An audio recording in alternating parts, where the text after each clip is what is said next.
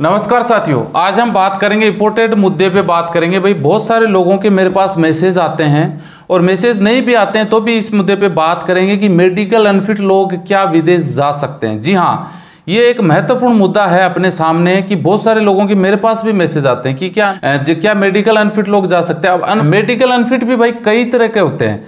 जैसे जिससे किसी को कैंसर हो जाता है तो आपको पता है यार वो तो कैसे जाएगा। और जैसे बहुत सारी प्रॉब्लम ब्लड में हो जाती हैं तो वो मेडिकल अनफिट में आ जाता है, जिसमें पीलिया भी हो सकता है, जिसमें टीबी के भी हो सकता है चेस्ट में भी दाग आ सकते हैं जिसको शुगर भी हो सकती है, ऐसी बहुत सारी प्रॉब्लम है जो मेडिकल अनफिट कर देती है। बहुत सारे लोग हाथ की फ़ोटो भेजते हैं, एक अंगुली नहीं होती है एक अंगूठा नहीं होता, वो लोग बोलते हैं, विदेश कैसे जा सकते हैं? तो भाई देखिए फ़िज़िकल मेडिकल अनफिट में और फ़िज़िकल अनफिट में फ़र्क होता है। जी हाँ अब फ़िज़िकल अनफिट कैसे हो सकता है? मान लीजिए आपके एक हाथ नहीं है तो आप फिजिकली अनफिट हो, आप नहीं जा सकते। एक मेडिकल में अनफिट है। मेडिकल में 90 प्रतिशत लोग मेडिकल में जो अनफिट होते हैं, वो उनके अक्सरे में दाग आता है। जी हाँ स्पॉट होता है, यहाँ पे चेस्ट में। बहुत सारे लोगों के ये क्वेश्चन होता है, सर, मैं कैसे जा पाऊँगा? तो वो लोग जैसे गमका करवानी होती है, चाहे आप सऊदी जाओ, कुवैत जाओ, या फिर दुबई में, कतर में, मस्कत में, बहरीन में, ओमान में, जितने भी कंट्रीज़ हैं, लगभग लोग यहीं जाते हैं। तो वो लोगों फिर अगर आप गमका करवाते हैं मेडिकल तो वहाँ जाते ही पहले झटके में आप हो जाते हो अनफिट और अक्सरे में जिनके दाग आ जाता है, वो एक लाइफ टाइम परमानेंट फिक्स हो जाता है, वो खत्म नहीं होता।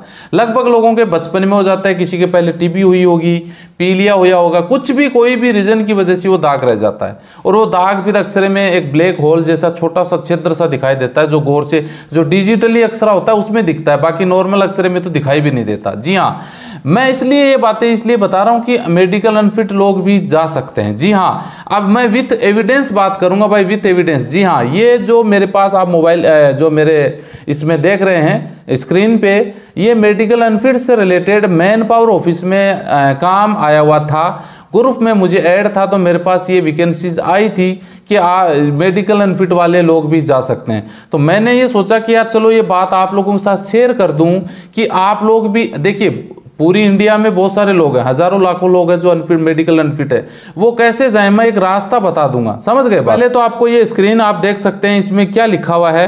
इसमें देखिए, बिना बिना मेडिकल सऊदी अरब जाने का सुनहरा मौका डायरेक्ट वीज़ा कोई मेडिकल नहीं होगा। सऊदी आरको कंपनी को आवश्यकता है जनरल लेबर हज़ार प्लस दो सौ। ठीक है जी? दोनों तरह के पासपोर्ट एक्सेप्टेड हैं, नौ घंटे ड्यूटी उम्र 21 से 40 साल तक। एम्प्लॉयमेंट वीज़ा इंडिया से लग के जाएगा, ये भी नहीं क्या विज़िट में जा रहे हैं। सीवी सिलेक्शन होगा 15 दिन में जाने वाले लोग कैंडिडेट संपर्क करें। यह है मैन पावर ऑफ़िस का। मैन पावर ऑफ़िस का मतलब मैं ये मानता हूँ कि लीगल है, एक नंबर में पूरा काम। होगा, आपके साथ कोई धोखाधड़ी नहीं होगी। अब आप बोल सकते हैं कि सर, ये ऑफ़िस कहाँ मिलेगी? तो मैन पावर है, इसमें लिस्ट में एड्रेस वगैरह दिए गए ये बुक के बारे में आप जानते होंगे। बार बार मैं बताता रहता हूँ। ये जो मैन पावर है, पूरी इंडिया में 28 राज्यों में जितने भी पंद्रह मैन पावर इसमें लिस्ट नंबर वगैरह सब है।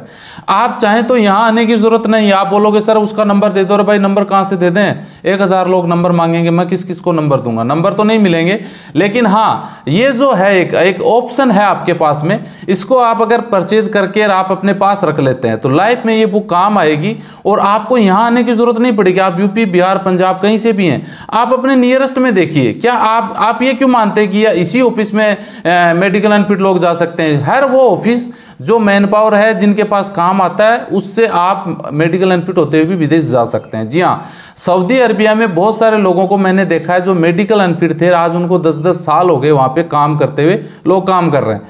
तो आप अपने नियर में जो मैन पावर ऑफ़िस हैं, वहाँ पे भी आप संपर्क कर सकते हैं कि, सर, मेरे अक्सरे में प्रॉब्लम है, मेरे ये प्रॉब्लम है। अगर मेरे लायक कोई जॉब हो तो आप मुझे बता दीजिएगा, मैं जाने के लिए तैयार हूँ।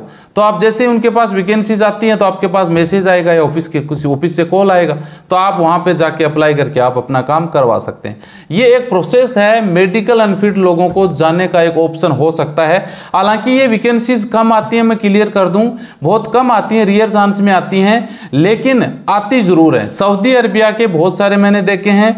अगर आप दुबई, आप मान लीजिए अक्सरे में दाग हैं, दुबई जाते हैं तो विज़िट वीज़ा में जाके अक्सरे में वहाँ अनफिट नहीं होते हैं, लगभग लोग पास हो जाते हैं। हो सकता है सौ में से दो चार अनफिट हो जाएँ, लेकिन लगभग लोगों को मैंने देखा वो फिट हो जाते हैं। तो इस तरह से आप अपने स्तर पे ट्राई करके अनफिट लोग भी भाई जा सकते हैं, क्योंकि बहुत सारे, देखिए, अपन बात करें घरेलू मैटर की एक परिवार में मान लो मैं ही कमाने वाला, और मैं मेरे पास यहाँ कोई साधन नहीं है, मैं सोचूं, यार, मैं विदेश चले जाऊँ गल्फ चला जाऊँ। मैंने कोशिश करी, पासपोर्ट एजेंट को दिया एजेंट बोला, मेडिकल करवा, मेडिकल करवाया अनफिट हो गया।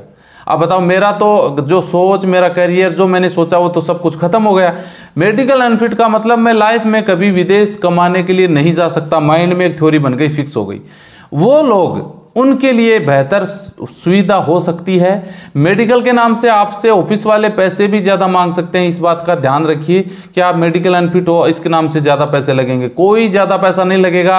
आप यहाँ से दिमाग से निकाल दीजिए। पैसा वही लगना है जो नॉर्मल आदमी का लगेगा, वही आपका लगेगा। मेडिकल अनफिट का मतलब ये नहीं कि आप बीस हज़ार ऑफ़िस वाला ज़्यादा मांग रहा। ना, गलत बात आई तो ये इस तरीके से आप अपने नियर में 100 डेढ़ सौ किलोमीटर के एरिया में ऑफ़िस मिलेंगी मैन पावर ऑफ़िस उनके द्वारा आप अप्लाई करें 100 परसेंट आप मेडिकल अनफिट वाले लोग भी जा सकते हैं। बस ये अपडेट आप लोगों के साथ शेयर इसलिए करनी थी कि मेरे पास मैसेज आया था मैन पावर ऑफ़िस से तो मैंने आपको बता दिया। आगे आप जैसा सोचते हैं, वैसा आप कर सकते हैं। मिलते हैं नेक्स्ट वीडियो में। चीज़ जानकारी के साथ। जय हिंद